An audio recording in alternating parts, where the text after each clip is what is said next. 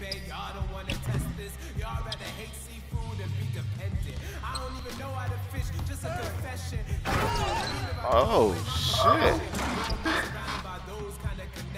Oh, give me a clip then before we